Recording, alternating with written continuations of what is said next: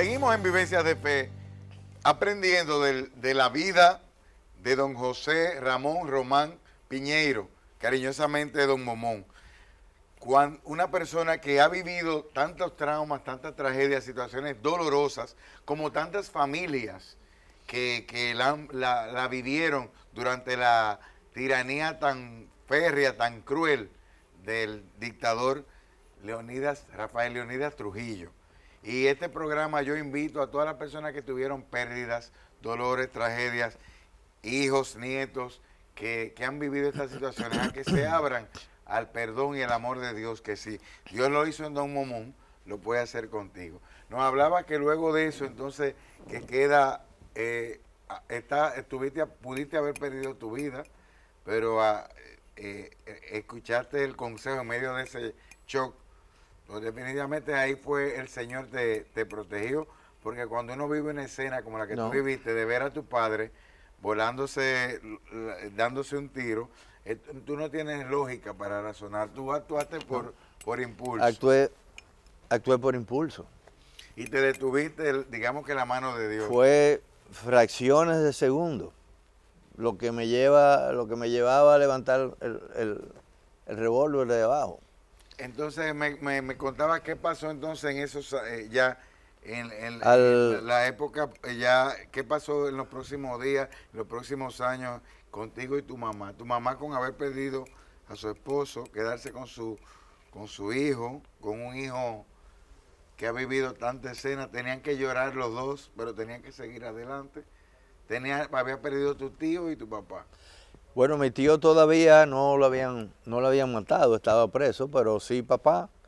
Y nosotros al, al segundo día salimos a comprar eh, eh, abastecimientos en, en el Conde y cuando regresamos nos dimos cuenta que nos estaban saqueando la casa.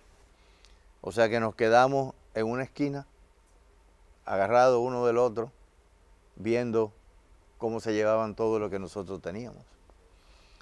Entonces yo recuerdo que yo le dije a mamá, bueno mami, ¿y ahora qué hacemos? No tenemos carro, no tenemos dinero, no tenemos casa, papá muerto. Y me dijo, bueno, vámonos a donde mi hermana Cucha, que vivía al doblar de la esquina. Y ahí nos quedamos a vivir. Eh, mamá vivió como un año y medio en casa de mi tía. A mí me lograron sacar como a los dos o tres meses. Me fui a, fui a parar a San Francisco de California, donde había una hermana de mi mamá que se había casado con un ingeniero americano que había venido aquí a instalar eh, la compañía de teléfono. Y ella le dijo, mándamelo, no vaya a ser que te lo maten. Y allá fui a parar, terminé mis estudios de ingeniería y regresé. Cuando regresé, a ese primo que yo le hice la casa, era hijo de Tiacucha, donde nosotros nos quedamos a vivir. Para que tú veas Qué cómo Dios va, bendición. te Dios va tejiendo ángeles. todo. Dios dio sus ángeles que, que son familia. La Así tía es. Cucha, el primo. Nelson, pero ya. tú lo cuentas rápido, pero imagino que eh, Dios fue fiel y te sostuvo.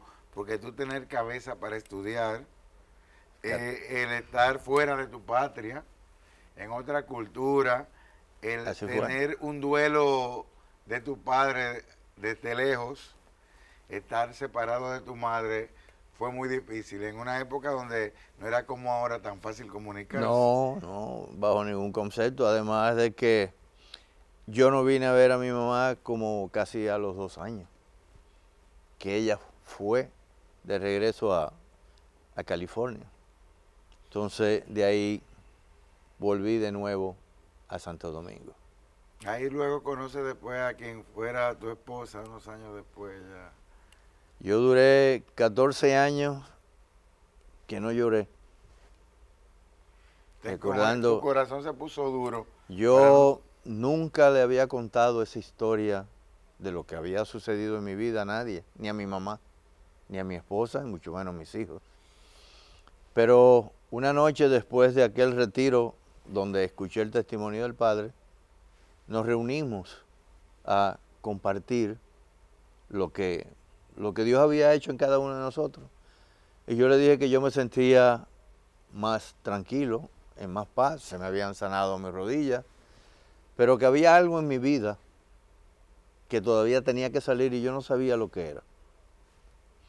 Entonces nos quedamos, nos pusimos en oración y hubo una persona que dijo, pero no te mortifiques porque Dios te dará lo que tú necesitas.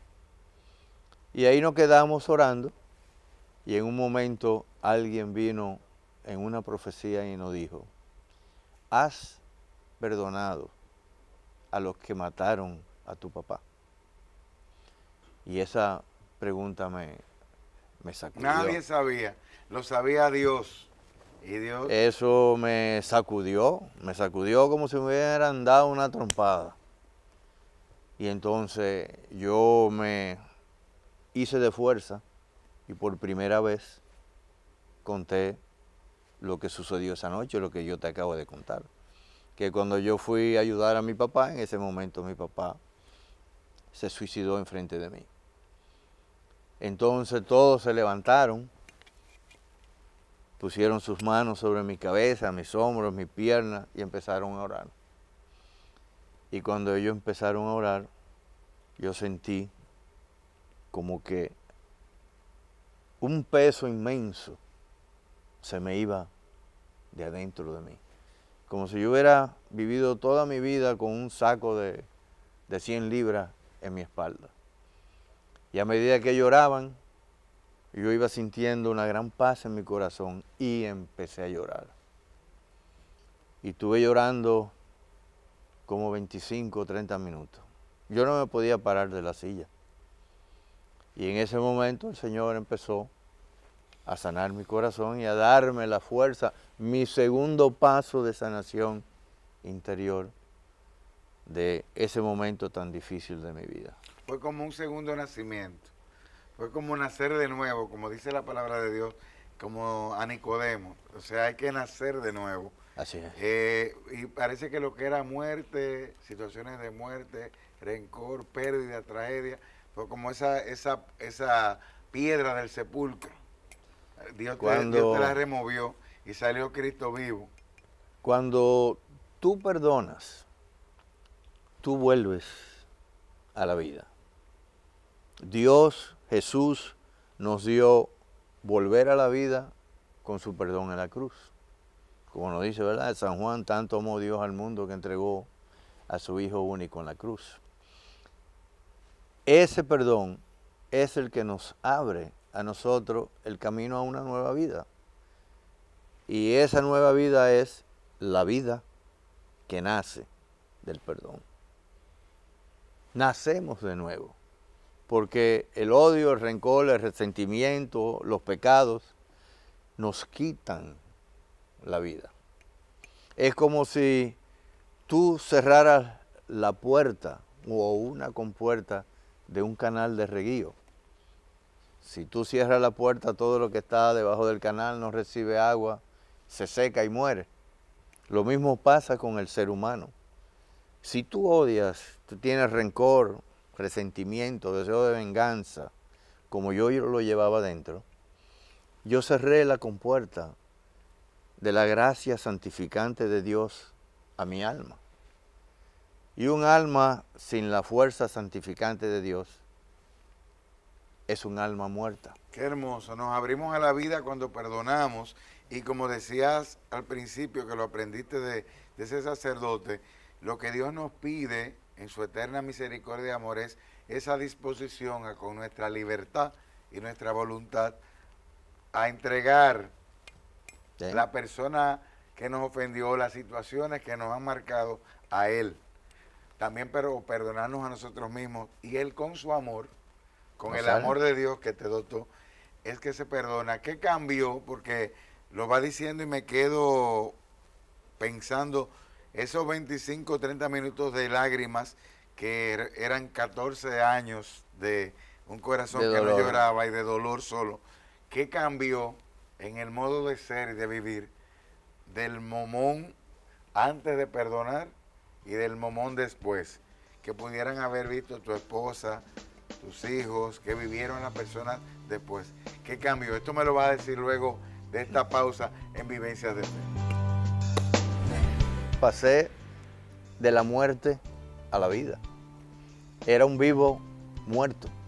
Ahora, con la gracia de Dios, soy un vivo vivo. Mi salud cambió. Todo mi ser. eh, tenía toda la citis, gastritis. eh, me pasé siete años sin dormir. Hasta el momento en que el Señor tocó mi corazón. Un corazón duro como la piedra, como decía a través del profeta Ezequiel. Derramaré mi agua pura, el agua de mi espíritu, sobre tu corazón y convertiré tu corazón duro como la piedra en un corazón blando que sepa amar. Y eso fue lo que el Señor hizo. Toda nuestra vida se llenó de felicidad. Es verdad que los sufrimientos no se acaban. La transformación sigue.